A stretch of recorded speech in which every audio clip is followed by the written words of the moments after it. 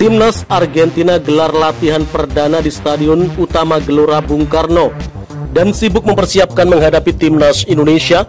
Lionel Messi, Angel Di Maria, dan Oktomandi malah asik-asikan berlibur di pantai, makan pizza, minum anggur merah. Netizen Indonesia murka. Setelah tiba di Jakarta pada Jumat 16 Juni 2023 malam, Timnas Argentina segera menggelar sesi latihan hari ini, Sabtu 17 Juni 2023. Latihan pertama skuad tim Tenggo akan dilakukan di Stadion Utama Gelora Bung Karno. Namun sesi latihan tersebut tidak akan dibuka untuk publik dan media dengan tujuan menjadi fokus dan privasi para pemain. Keputusan untuk melaksanakan latihan tertutup juga diambil demi keamanan para penggawa Argentina dalam keterangan resmi dari LOC Match Media Operation Indonesia versus Argentina, disebutkan bahwa langkah ini diambil untuk memastikan kondisi terbaik para pemain dalam persiapan menghadapi pertandingan melawan Timnas Indonesia. Sementara di saat Timnas Argentina sibuk menyiapkan pertandingan jelang menghadapi Timnas Indonesia, kini keberadaan Messi pun kemudian menjadi sorotan. Dalam unggahan akun Twitter underscore Albi Kalestalak keberadaan pemain berjuluk La Pulga itu pun tertangkap kamera. Kini Messi berada di Barcelona Spanyol. Tak sendirian, dia bersama dua pemain bintang lainnya di timnas Argentina, yakni Angel Di Maria dan juga Nicolas Otamendi.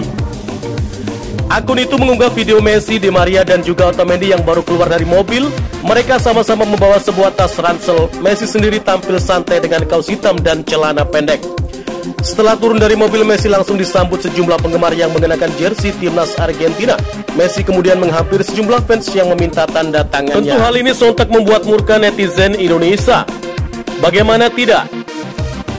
Di saat rekan setimnya bersiap menyiapkan laga menghadapi timnas Indonesia, tanpa rasa ada beban bersalah kepada fans Indonesia yang telah menantikan kedatangan Messi sejak lama dan rela membeli tiket mahal demi melihat Messi bermain di Indonesia, kini Messi malah enak-enakan berlibur di pantai dan makan di restoran Luis Suarez.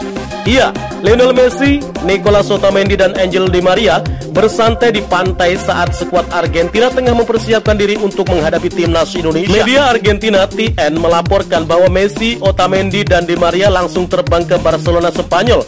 Messi, Otamendi dan Di Maria menjalani liburan ke pantai di kawasan Castel de Fels yang masih menjadi bagian provinsi Barcelona. Ketiga pemain senior Argentina itu juga diberitakan mampir ke restoran Crisnito Calito, Plaza de las Palmers. Restoran tersebut merupakan milik mantan rekan setim Lionel Messi di Barcelona, Luis Suarez. Menurut laporan TN, Lionel Messi, Otamendi, dan Di Maria tiba di pantai Castel de Fels pada Jumat 16 Juni 2023 pukul 14.00 dan berada di sana hingga pukul 16.00 waktu setempat. Ketiganya memesan menu barbecue, steak, chorizo, dan salad capres. Selain itu, salah satu dari bintang Argentina itu juga memesan anggur merah. Hal ini sontak membuat netizen Indonesia murka. Pasalnya mereka jauh-jauh hari sudah mengumumkan bahwa Messi akan datang dan main lawan Indonesia. Namun kenyataannya mereka tak menepati janji.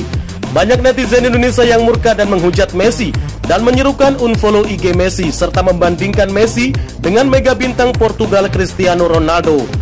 Ronaldo aja mau datang ke Indonesia, bahkan beramal dan tanpa dibayar. Lah ini Messi kok malah kayak gini. Udah jangan lagi puji Messi, kita blok dia Messi sombong, pecundang. Dan masih banyak lagi komen hujatan lainnya kepada Lionel Messi. Terlepas dari itu, timnas Indonesia akan melakukan pertandingan melawan Argentina pada 19 Juni 2023 mendatang. Bagaimana menurut kalian? Jika suka dengan video ini, nantikan video kami selanjutnya dan salam olahraga.